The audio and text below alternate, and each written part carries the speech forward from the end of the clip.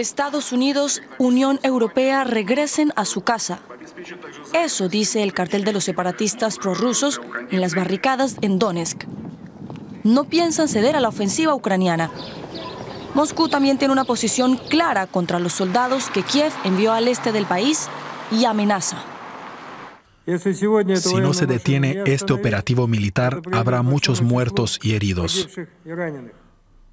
Los ejercicios militares anunciados por la OTAN en Polonia y el Báltico tampoco ayudarán a reducir la tensión en Ucrania. El presidente Vladimir Putin también critica a la cúpula en Kiev y habla de graves crímenes.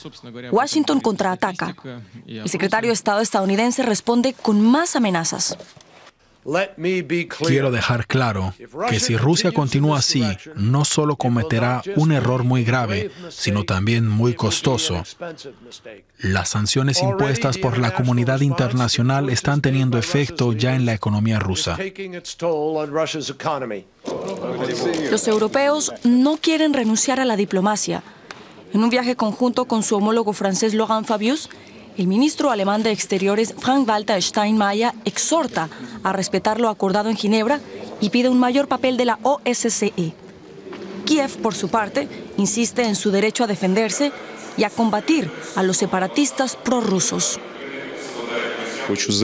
No vamos a retirarnos cuando los terroristas amenazan la vida de nuestros ciudadanos.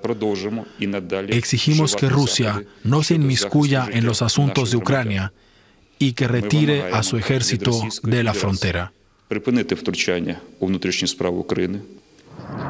Pero sus palabras parecen no tener eco mientras escala día a día el conflicto entre ambas partes.